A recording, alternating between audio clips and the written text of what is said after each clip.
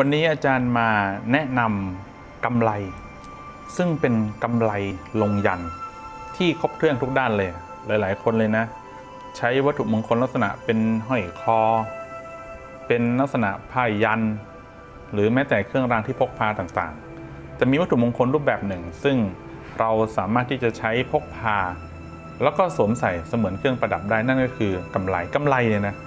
มีความดีงาม 2 ประการ ประการแรกโดยชื่อของกำไรเนี่ยมันเป็นเคล็ดอยู่แล้วใช่ไหมว่า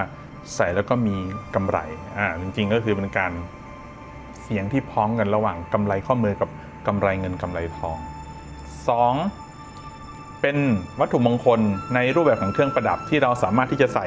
ติดตัวได้ตลอดเวลา อาจารย์แนะนำให้เริ่มจากนะกำไรที่ครบเครื่องทุกอย่างเรียกว่ากำไรมนตรามหายันหน้าตาเป็นอย่างนี้นะกำไลมนตรามหายันต์เนี่ยจะเป็นเนื้ออัลลอย น้ำหนักเบา แข็งแรง แวววาว สวยงาม ไม่ลอกไม่ดำ และกำไลมนตรามหายันต์อาจารย์จะจารยันต์ครบเครื่องเลยนะ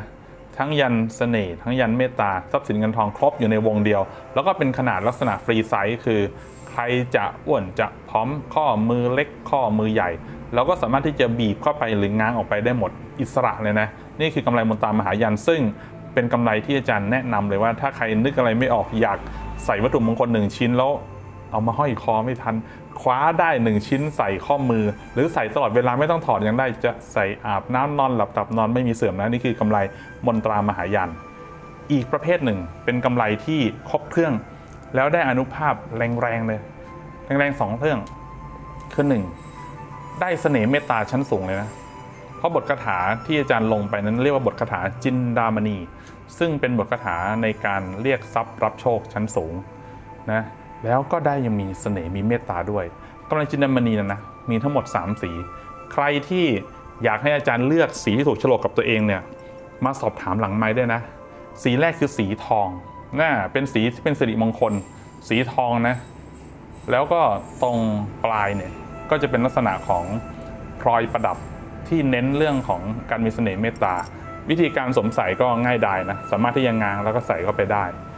สีที่สอง เป็นสีนาคนะสีนาคหรือว่าพิงโกนั่นเองก็คือทองชมพูนั่นแหละ ก็คือนาคนั่นแหละ ก็จะสวยงามแล้วก็หลาย ๆ คนบอกอยากจะเลือกสีถูกฉลกกับดวงชะตาเดี๋ยวอาจารย์คัดเลือกให้สอบถามหลังไม้ได้ สุดท้ายก็เป็นสีเงินหรือสีของลักษณะทองคำขาวแบบนี้ก็เป็นสีในออกโทนเงิน ทั้งหมดเนี่ยเป็นเนื้อสแตนเลสแล้วก็มีการทำสีให้ถูกฉลกกับดวงชะตานะดังคำโบราณว่าสามกษัตริย์ทองนาคเงินเห็นไหมเรา ก็จะมีครบเลยทั้ง 3 สีดังนั้นใครที่ถูกฉลกกับสีไหน ใครอยากครอบครองกำไรที่ครบเครื่องทุกอย่าง แล้วก็แรงมากที่สุดของมหามนตา ให้เลือกกำไรจินดามณี นี่คือการแนะนำกำไรที่ครบเครื่องทุกด้าน ใครอยากได้แรง ใครอยากได้สีฉลกไหน ติดต่อได้เดี๋ยวอาจารย์จะแนะนำให้ทีละคน